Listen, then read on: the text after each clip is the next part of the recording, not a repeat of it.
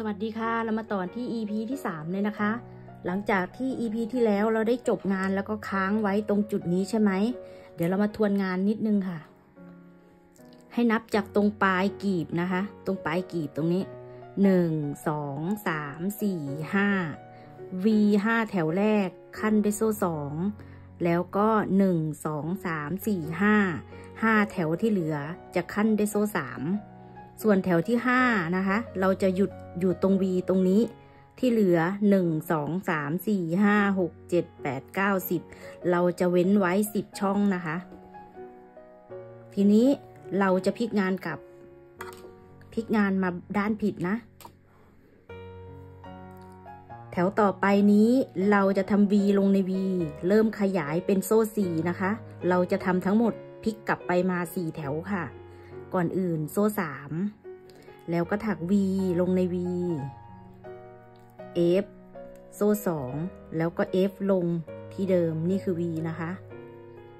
ทีนี้ก็ขั้นในโซ่4แล้วก็ V ลงใน V ตัวต่อไป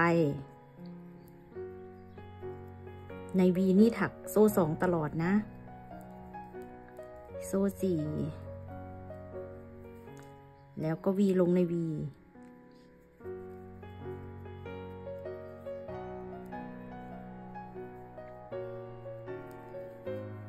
อันนี้แถวแรกของโซ่สี่นะคะ เราก็มาร์กไว้ด้วย เดี๋ยวลืม นี่มาร์กไว้ เวลานับจะได้ง่าย ๆนะคะ ให้ถัก V ลงใน V วนรอบจนมาสุดแถวฝั่งนี้ค่ะ เราได้ถัก V ลงใน V ขั้นด้วยโซ่สี่จนมาสุดแถวอีกฝั่งแล้วนะคะ แถวสุดท้ายก็อย่าลืมเลยนะ F ลงไปในโซ่สามปดปดปดเสร็จแล้วก็พลิกงานกลับค่ะ ทีนี้ ถักด้านถูกเวียนมานะคะ จนมาสุดแถวฝั่งนี้ เดี๋ยวทำให้ดูอีกหนึ่งแถวค่ะ ขึ้นต้นด้วยโซ่สาม V ลงใน V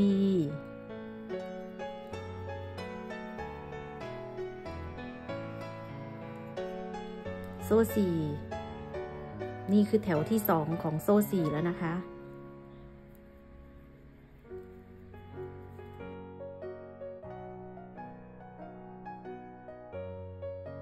ให้ถักซ้ำๆแบบนี้นะคะ วนรอบจนมาสุดแถว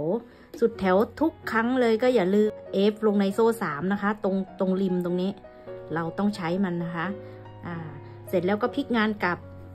แล้วก็ถักเวียนจนมาสุดแถวฝั่งนี้นะคะ ถักพลิกกลับไปกลับมาจนครบ4นะคะ เสร็จแล้วก็ให้เพิ่มเป็นโซ่ 5 อีก 4 แถว โซ่ 6 อีก 4 แถวนะคะ เดี๋ยวจะให้ดูที่ถักเสร็จ ให้ดูตัวที่ถักเสร็จแล้วประกอบเนาะอ่า เราจะอยู่ช่วงนี้ โซ่4 4แถว โซ่5 4แถว โซ่6 4แถว โซ่7โซ่8นะคะ เพิ่มไปอ่าโซ่ละสี่แถวนะคะพลิกกลับไปมาจนได้ขนาดอกตามที่คุณต้องการ อย่าลืมนะว่าไซส์ตรงเนี้ยถ้าอกเล็กก็ถึงช่วงนี้ก็ได้ค่ะ ถึงโซ่หกสี่แถว โซ่เจ็ดสี่แถวก็ว่าไปเนาะแต่ถ้าใครต้องการไซส์ใหญ่นะคะ ก็สามารถ ขยายออกไปได้เรื่อยๆ ถึงโซ่สิบเอ็ดสี่แถว โซ่สิบสองสี่แถวเลยก็ได้นะคะ หรือถ้าใครต้องการตรงนี้เพิ่ม อย่าลืมนะ เราปัก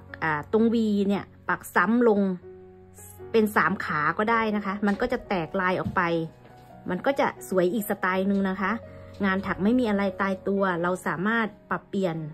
ปรับปรุงได้ค่ะ จะวัดให้ดูเนาะ เพราะว่าตัวนี้สาวน้ำมนใส่เองนะคะ ก็จะประมาณสามหกสามแปด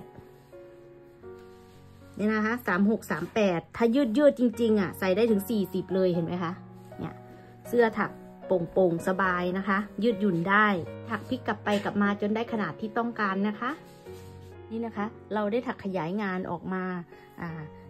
เราต้องการไซส์ประมาณ 38ถึง40 นะคะ ใส่ได้ แต่เราจะทำเล็กกว่าอกจริงนะคะ ราะอะไร เพราะว่ามันอันนี้ยังไม่ได้รีดเนาะมันได้ประมาณ 18 ครึ่งได้ประมาณ 37 นิ้วนะ เดี๋ยวเพราะว่าเราจะต้องมาทำดอกตรงนี้ค่ะ ตรงริมตรงเนี้ยนะตรงกีบดอกไม้ตรงนี้อ่าเราเผื่อไว้นะคะ พอดีเวลาใส่มันก็จะพอดีเป๊ะเลย ไม่ใหญ่เกินนะ เดี๋ยวจะให้ดูตรงนี้ว่าเราถักขยายมากี่แถวนะคะ ตรงมาร์กไว้ตรงนี้ก็คือจำนวนตัวเลขค่ะ อันนี้แถวที่หนึ่งที่สองที่สามที่สี่นี่เป็นโซ่สี่สี่แถว แล้วก็มาเป็นโซ่ห้านะคะหนึ่งสองสามสี่โซ่ห้าอีกสี่แถว แล้วก็โซ่หกหนึ่งสองสามสี่โซ่หกอีกสี่แถว โซ่เจ็ดหนึ่งสองสามสี่โซ่เจ็ดอีกสี่แถว พอมาถึงโซ่แปดเนี่ยเราทำแค่หนึ่งแถว แล้วก็กลับมาอีกหนึ่งแถวเป็นสองแถวนะคะสำหรับโซ่แปดต่อไปเราจะถักไอ้ตรงริมอย่างที่บอกนะคะ ถักแบบนี้ค่ะ ถักกลีบดอกไม้แบบนี้ค่ะ อยู่ด้านนี้เนาะ อันนี้โซ่แปดแถวที่สองนะคะ เราถักโซ่สามแล้วก็พลิกงาน เราจะถัก F ลงไปใน V นะคะ ครั้งที่หนึ่ง F ครั้งที่สองลงไปที่เดิม F ครั้งที่สาม อ F ครั้งที่สี่เราจะถักโซ่ยี่สิบแต่ F สี่หลักนะหนึ่งสองสามสี่ห้าหกเจ็ดแปดเก้าสิบสิบเอ็ดสิบสองสิบสามสิบสี่สิบห้าสิบหกสิบเจ็ดสิบแปดสิบเก้ายี่สิบได้โซ่ยี่สิบแล้วก็แทงเฉียงเฉียงๆตรงหลักเมื่อกี้นี่ค่ะ แล้วก็ดึงผ่าน จะได้ห่วงไว้ทำกลีบดอกไม้แบบนี้นะคะ ในจุดเดิมนี้ให้ทำเอฟลงไปอีกสามครั้งหนึ่งสองสามในนี้ไม่รวมตรงโซ่สามนะคะ เราจะได้หนึ่งสองสามสี่ห้าหกเจ็ดได้เอฟเจ็ดหลัก อ่า F ตรงกลางคือหลักที่สี่เราจะทำโซ่ยี่สิบนะคะ จะไป V ตัวต่อไป เราถักโซ่สี่ก่อนหนึ่งสองสามสี่แล้วก็ F ตัวที่หนึ่งลงไป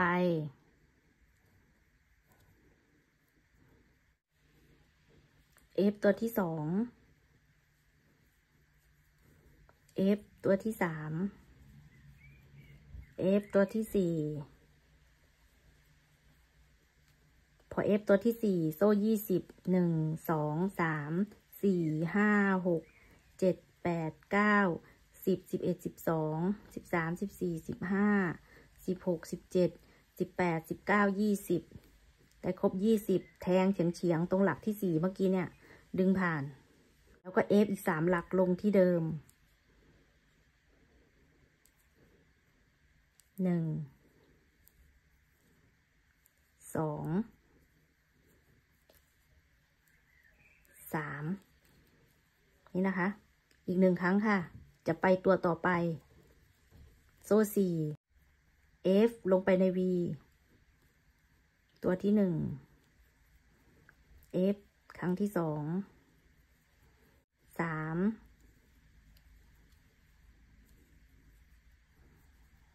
สี่ หลักที่สี่ แล้วก็โซ่ยี่สิบ หนึ่ง สอง สาม สี่ ห้า หก เจ็ด แปด เก้าสิบสิบเอ็ดสิบสองสิบสามสิบสี่สิบห้าสิบหกสิบเจ็ดสิบแปดสิบเก้ายี่สิบแล้วก็แทงเฉียงเฉียงลงหลักที่สี่ดึงผ่าน แล้วก็เอฟอีกสามครั้งลงที่เดิมสองสามจะไปตัวถัดไปนะคะ ก็ขั้นด้วยโซ่สี่ก่อน นี่ค่ะ ถักลงแบบนี้นะคะ ทุกๆ V เลย จนมาสุดแถวค่ะ เราได้ถักจนมาถึง V ตัวสุดท้ายเลยนะคะ จบงานนะคะ ด้วย F ลงไป ในโซ่สามตรงริม ปลด ปลด ค้างไว้ค่ะ แล้วเราจะไปหยิบสี ชมพูนะคะ เพื่อที่จะทำกลีบดอกไม้ ใครกลัวหลุด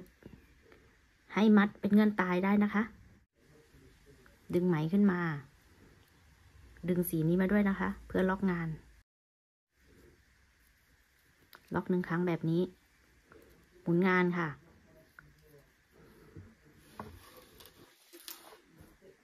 เวลาเราถักกีบนะคะ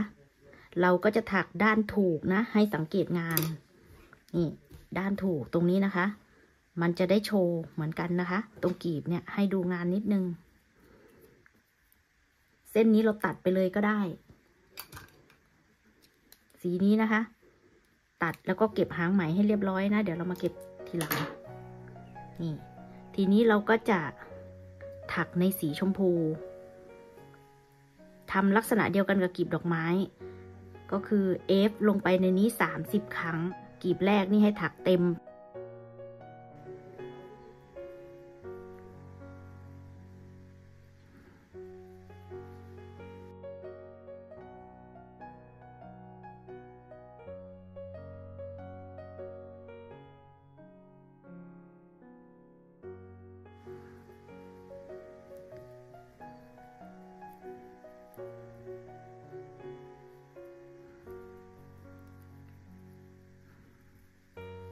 ถักเวียนรอบจนครบทั้ง 30 หลักค่ะ เราได้ถัก F ลงไปในห่วงจนครบทั้ง 30 หลักแล้วนะคะ เราก็จะมา X นะคะ ลงในหลักสุดท้ายของแถวที่แล้ว X ลงไปค่ะ นี่คือกีบแรกนี้เราจะทำ30หลักเต็มนะคะ จะไปกีบต่อไปนะคะ เราจะถักตรงนี้ด้วยโซ่4 1 2 3 4แล้วก็มาปัก X ในหลักแรกของแถวที่แล้ว ปัก X ลงไป ยึดไว้ก่อน เสร็จแล้วเราก็จะถัก F ลงไปในห่วง เป็นจำนวน 9 หลักนะคะ 1 2 3 4 5 6 เจ็ดแปดเก้าปลดเข็มค่ะ แล้วเราก็จะมายึดกับกีบเมื่อกี้นี่นะคะ นับหนึ่งสองสามสี่ห้าหกเจ็ดแปดเก้าอยู่ตรงนี้ ให้แทงเข็มเข้าไปในหลักที่เก้าของกีบที่แล้ว แล้วก็เกี่ยวห่วงนี้นะคะ ลอดผ่านแบบนี้มันจะได้ติดกันค่ะ เสร็จแล้วเราก็มาถักกีบนี้ให้เสร็จนะคะ ได้เก้าหลักแล้วใช่ไหมคะ นี่ก็หลักที่สิบสิบเอ็ดสิบสองสิบสามสิบสี่สิบห้าถักไปอีกให้ครบทั้งสามสิบหลักค่ะ เราก็ได้ถัก F ครบทั้งสามสิบหลักแล้วนะคะ x ลงไปในหลักสุดท้ายของแถวที่แล้ว แบบนี้ค่ะ แล้วก็ขั้นไดโซ่สี่หนึ่งสองสามสี่แล้วก็มาปัก x ตรงหลักแรกของฝั่งนี้เลย จะขึ้นกีบถัดไป เดี๋ยวจะทำให้ดูอีกหนึ่งครั้งนะคะ f ลงในห่วงเก้าหลักหนึ่งสองสาม สี่ห้าหกเจ็ดแปดเก้าดึงไหมขึ้นมานิดนึงปลดเข็มค่ะ แล้วก็นับกีบที่แล้วขึ้นมาเก้าหลักหนึ่งสองสามสี่ห้าหกเจ็ดแปดเก้าอยู่ตรงนี้ ปักเข็มลงไปค่ะ แล้วก็ดึงไหมผ่าน แบบนี้นะ มันก็จะติดกัน เสร็จแล้วก็ถักกีบนี้ ให้ครบทั้ง 30 หลักค่ะ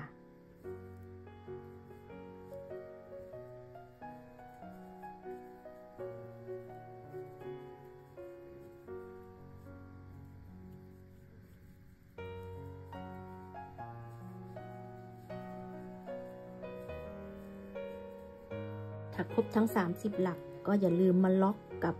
หลักสุดท้ายของแถวที่แล้ว x จะไปกีบถัดไปก็โซ่ 4 แล้วก็ x ลงหลักฝั่งนี้นะคะ แล้วก็ค่อยถักกีบ 9 หลัก แล้วมาเชื่อม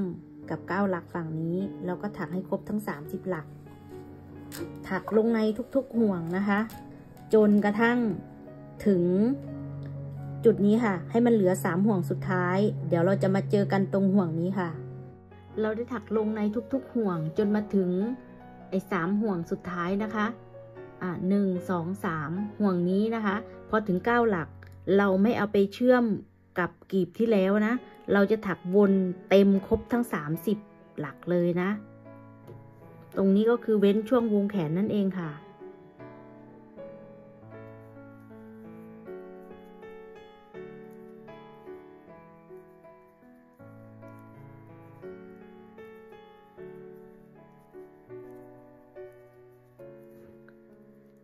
วนไปจนครบ 30 หลัก แล้วก็มาปักลงตรงนี้เหมือนเดิมนะคะกีบถัดไป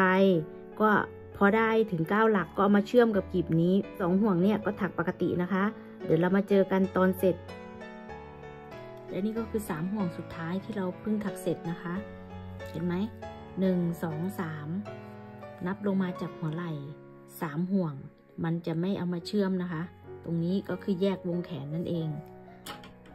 ถึงจุดนี้ ดึงไหมขึ้นมาเหลือหางไหมไว้เล็กน้อยค่ะ แล้วก็ตัดไหม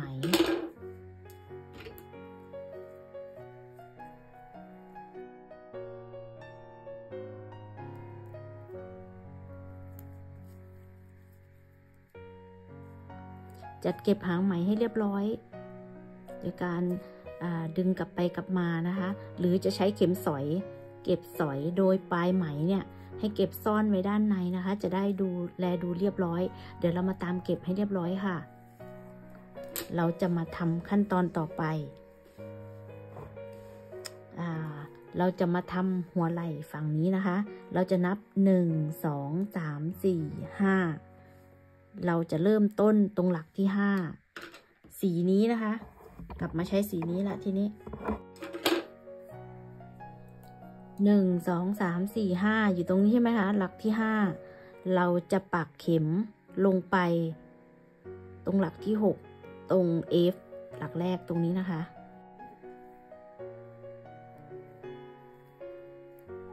หนึ่งสองสามเราจะขึ้นต้นด้วยโซ่สามแล้วเราจะถัก V ลงใน V นะคะ เป็นจำนวน 5V เนี่ย 1 2 3 4 5 เนี่ย ขั้นด้วยโซ่3ค่ะ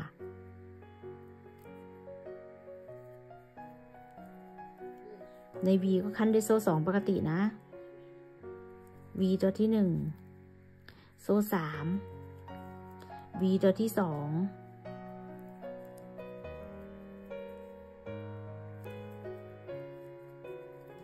ขั้นด้วยโซ่3วีตัวที่สาม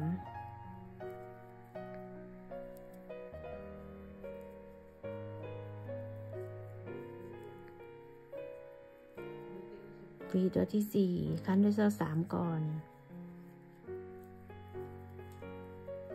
ในวีคั้นด้วยโซ่สองปกติ โซ่สามแล้วก็วีตัวที่ห้าตัวสุดท้าย โซ่สอง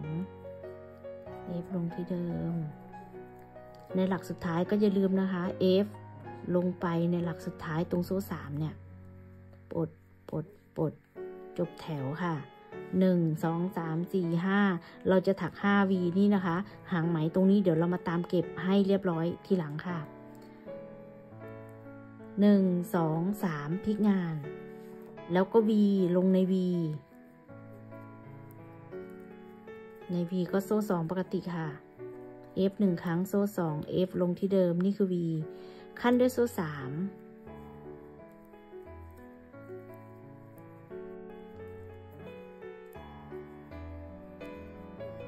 โซ่สามให้ทำ V ลงใน V จนถึง V ตัวสุดท้ายค่ะ เราได้ถัก 1 2 3 4 5 V แล้วนะคะ ตรงหัวไหล่นะ อ่า V ตัวที่ 5 เนี่ย เราก็อย่าลืม F ลงในโซ่3ปลดปลดปลดแบบนี้ค่ะ แล้วก็พลิกงาน โซ่สาม แล้วก็ V ลงใน V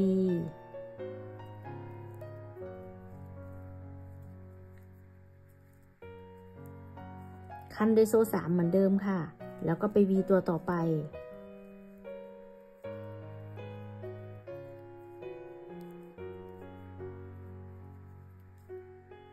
โซ่สามแล้วก็ V ลงอีกจนครบทั้ง 5V นะคะ V ตัวสุดท้ายก็อย่าลืม F ลงในโซ่ 3 ด้วยนะคะ พลิกกลับไปกลับมา จนครบทั้ง 6 หลัก ก็จะอยู่ประมาณช่วงนี้นะคะ เดี๋ยวเรามาเจอกันตรงแถวที่ 6 ค่ะ นี่นะคะ เราได้ถักต่อขึ้นมาเป็นจำนวน 6 แถว แถวที่ 1 2 3 4 5 6 นะคะ อ่า ช่วงตรงหัวไหล่ตรงนี้ เพิ่มจำนวนได้เป็น 7 แถว 8 แถวได้นะคะ แต่คุณก็จะได้วงแขนที่กว้างขึ้นแค่นั้นเองค่ะ แต่สาวน้ำมนต์จะเอาทำตามแบบเลยนะ ก็คือถักขึ้นมา6แถว เสร็จแล้วก็ตัดไหม แล้วก็เก็บซ่อนหางไหม ไว้ตามซอกโซ่งานของเรานะคะ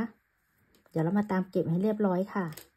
ส่วนหัวไหล่ฝั่งนี้นะคะ เราก็จะทำขึ้นมา6แถว เช่นกันกับฝั่งนี้อ่าเราจะเริ่มงานที่อ่า กีบที่สามเห็นไหมคะสามกีบนี้ที่เราไม่เชื่อมเนี่ยก็คือวงแขนของเรานะ ตรงนี้ก็จะต่อขึ้นมาเป็นช่วงหัวไหล่ เราจะเริ่มไปที่จุดตรงนี้ค่ะ ที่ว่าเราเว้นไว้ ตรงนี้ที่ไม่ได้เชื่อมต่อนี่ค่ะ ให้เรานับหนึ่งสองสามสี่ห้าหกเจ็ดแปดปักเข็มลงไปในหลักที่แปดจากจุดเชื่อมนะ ดึงไหมขึ้นมาเหลือห่างไหมไว้เล็กน้อยค่ะ เราจะถักโซ่สาม หนึ่งสองสามโดยเก็บหางไหมที่เหลือไปด้วยนะคะ เสร็จแล้วให้เรา F ค่ะ หรือพันเข็มหนึ่งครั้ง นับหนึ่งสองสามสี่ปักลงในหลักที่สี่นะคะปลดปลดแล้วก็ปลดสองห่วงสุดท้าย ก็ขั้นด้วยโซ่สองแล้วก็ F ลงที่เดิม ปลด ปลดแล้วก็สองห่วงสุดท้าย นี่นะคะ เราจะได้ V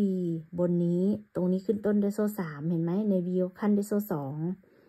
ต่อไปค่ะ เราจะข้ามไปกีบนี้นะคะ เราจะขั้นด้วยโซ่สามหนึ่งสองสาม F ค่ะ แล้วก็นับหนึ่งสองสามสี่ปักลงในหลักนี้ค่ะ ปลด ปลด ปลด ขั้นด้วยโซ่สองแล้วก็ F ลงที่เดิม นี่นะคะ V ตัวที่สองของเรา V ตัวที่หนึ่ง V ตัวที่สองเราจะทำห้า V นะคะ ภายในสามกีบนี้ ขั้นด้วยโซ่สามค่ะ F ค่ะหนึ่งสองสามปักลงในหลักที่สี่หนึ่งสองสามปลดนะคะ ขั้นด้วยโซ่สองแล้วก็ F ลงที่เดิม เราได้ V สามตัวแล้วนะ ขั้นด้วยโซ่สามค่ะ ไปกีบถัดไปเลยนะหนึ่งสองสามสี่ปักลงในหลักที่สี่ปลดปลดโซ่สอง F ลงที่เดิม ปลดปลดปลดโซ่สามหนึ่งสองสาม V ตัวที่ห้าหนึ่งสองสามสี่ปักลงบนหลักที่สี่ ปลดปลดปลดโซ่สอง F ลงที่เดิม จบแถว F ค่ะหนึ่งสองสามปักลงไป บนหลักที่สี่หนึ่งสองสามเราจบงานแบบนี้ หัวไหล่ฝั่งนี้เราก็จะได้หนึ่งสองสามสี่ห้า V นะคะ แถวต่อไปเราจะพลิกงานกับ โซ่สาม หนึ่งสองสามแล้วก็ V ลงใน V ขั้นด้วยโซ่สามนะคะ ครบทั้งห้า V ใน V ก็ขั้นด้วยโซ่สองเหมือนเดิม ตัวที่หนึ่งโซ่สาม V ตัวที่สอง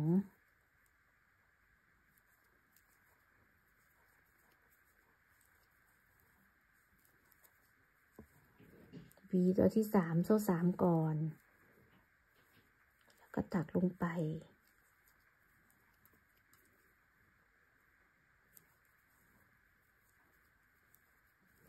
ถักไปจนสุดแถว เราถักครบทั้ง 5V แล้วนะคะ อ่า ตรง V ตัวสุดท้ายก็อย่าลืม F ลงในโซ่สามนะ ปลด ปลด ปลด เรียบร้อยค่ะ เสร็จแล้วก็พลิกงาน แล้วก็เริ่มขึ้นโซ่สาม แถวใหม่เลยนะคะ v ลงใน v ทุกตัวจนครบทั้ง 5v ค่ะ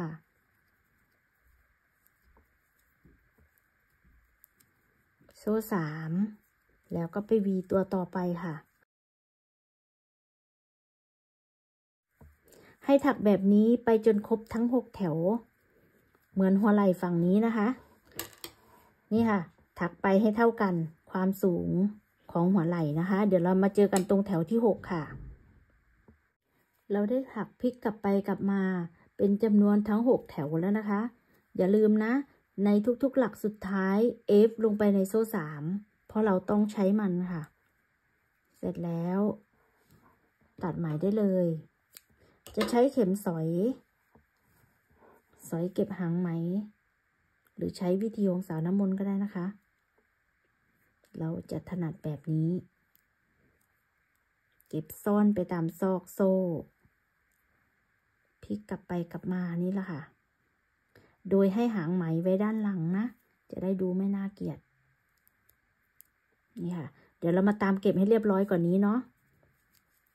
จะให้ดูงานนะ นี่ค่ะ หัวไหล่ วงแขนของเรา ให้ทบจากหัวไหล่นะคะหนึ่งสองสามสี่ห้าวีไล่ลงมา วงแขนเขาก็จะเท่ากัน อย่าลืมนะ ใครต้องการวงแขนตรงนี้กว้าง ก็เพิ่มเป็นเจ็ดแถวแปดแถวก็ได้นะคะนี่ค่ะ เดี๋ยวเราขึ้นหุ่นให้ดูนะ นี่นะคะ ลองขึ้นหุ่นให้ดูก็จะออกมาเป็นลักษณะนี้ เดี๋ยวดูวงแขนฝั่งนี้ นี่นะคะ วงแขนฝั่งนี้ค่ะ ตรงหัวบ่าไหล่ก็เท่ากันทั้งสองฝั่งนะคะ อ่า ตรงนี้ ริมคอ เดี๋ยวเราจะมาเก็บทีหลังนะคะสำหรับคลิปนี้เราก็เสร็จแล้วนะคะ ชิ้นหน้า เดี๋ยวมาเจอกันใหม่ใน EP ต่อไปจะเป็น EP สุดท้ายนะคะ การทำชิ้นหลัง แล้วก็เอาสองชิ้นเนี่ยมาติดกัน แล้วก็เก็บริมคอ แล้วก็เก็บริมแขนเล็กน้อยนะคะสำหรับคลิปนี้ถ้าถูกใจก็ อย่าลืมกดไลค์กดแชร์เพื่อเป็นกำลังใจให้สาวน้ำมนต์เช่นเคยนะคะ เจอกันใหม่ในคลิปหน้าสำหรับคลิปนี้ สวัสดีค่ะ oh, yeah. Bring you up. Yeah, come on.